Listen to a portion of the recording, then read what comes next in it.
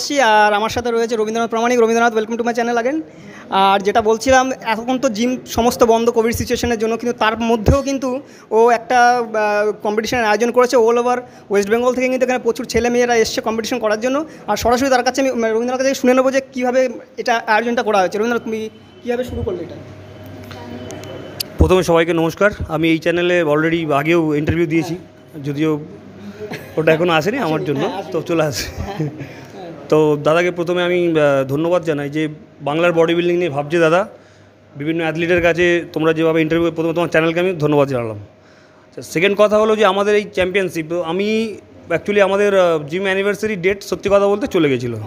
তো আমি একটা ছোটোখাটো আমার জিমের যারা মেম্বার্স আছে তো তাদেরকে আমি যাতে জাস্ট তারা যাতে আরও উৎসাহিত হয় সেই জন্য একটা ছোটোখাটো কথা ভেবেছিলাম যে একটা গেম করব। তো সেখানে স্টার্টিংয়ের সময় তারপর আমি কথা বললাম অনেকের সাথেই। তো আমাদের West Bengal state body building অ্যাসোসিয়েশনের তরফ থেকে আমাদের অনুজদা বিশ্বনাথ স্যার সবাই আমাকে সাপোর্ট করল যে ব্যাপারটা তুমি একটা কাজ করো যে নর্মালভাবে কিছু এতদিন ধরে তো কোনো কম্পিটিশন হচ্ছিল না। তো সেই হিসেবে কোনো বড় গেম হচ্ছিল না। কিন্তু West Bengal state body building association একমাত্র ফেডারেশন যেটা আমরা অ্যাথলিটদের জন্য ভাবি।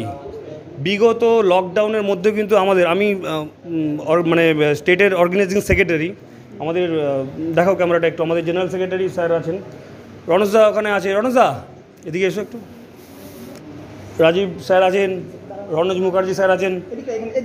তো আমরা সবসময় ভেবেছি ছেলেদের জন্য। আমরা সত্যি কথা বলতে আমাদের বেঙ্গলের একমাত্র ফেডারেশন আমরাই যারা আমরা ছেলেদের জন্য অলওয়েজ ভাবি সে লকডাউন হোক যাই হোক। তো আজকে সেটা ভেবেই আমি স্টেটের জন্য একটা ছোটোখাটো কম্পিটিশান আমি প্রোগ্রাম রেখেছি। মানে এটুকু আমি বলতে পারি যে আমার জুনিয়র ভাই বোনেদের জন্য এটা। আর আমি যেহেতু নিজে একজন অ্যাথলিট আমি নিজে একজন স্টেট জাজ আমি দায়িত্বে আছি ফেডারেশনের তো আশা করব আমার ভাইরা ভাইদেরকে আমি খুশি করতে পারব। কী কী কী কী কী কম্পিটিশন হবে? জুনিয়র বডি বিল্ডিং আছে মেন্স ফিজিক চ্যাম্পিয়নশিপ আছে। আর আমার আমার জিমের ভাই বোনেদের জন্য আমি ছোটোখাটো কিছু প্ল্যাঙ্ক ও ডেড লিফট সেগুলো রেখেছি তা বন্ধুরা চলো আমরা দেখে নেব কীভাবে তারা প্রিপারেশন নিচ্ছে আর কীভাবে কম্পিটিশন অর্গানাইজ করছে ও। Is 1991. Birds and people are living together in seemingly perfect harmony until one day a young man catches fire. This is Phoenix.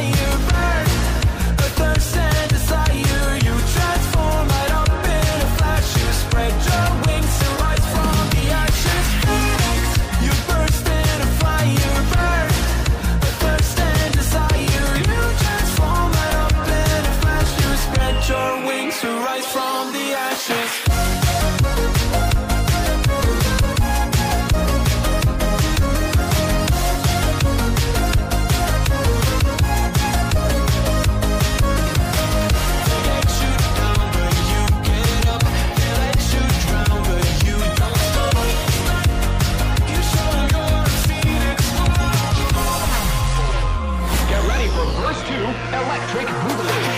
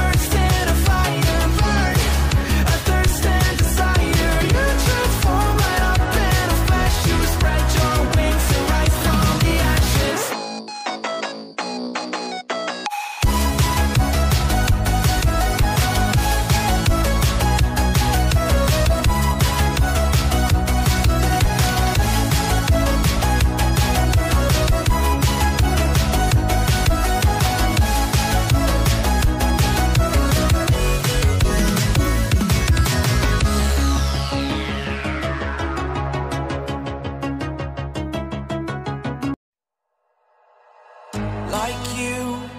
Be strong to hold the powers of the sun.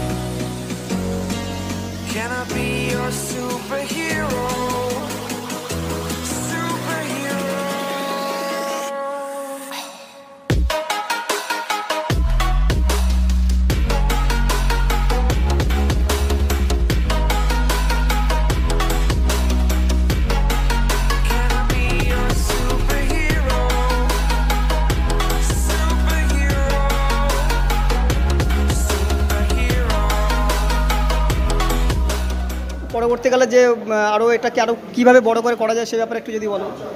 শোনো, আমরা হচ্ছে athlete ঠিক আছে? তো আমরা চাইব আরও জায়গাটাকে বড় করি। কারণ ব্যাপার হচ্ছে আমাদের কাছে গেমটাই সব।